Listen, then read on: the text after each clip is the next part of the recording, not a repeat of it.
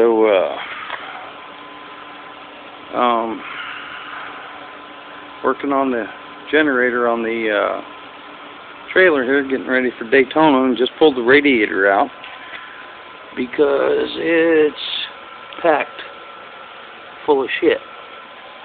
And this is a common problem with these generators, uh, because of the way the fan blows from the inside of the cabinet out. And, uh, you got to do this every once in a while. So we're going to clean this up and put it back in.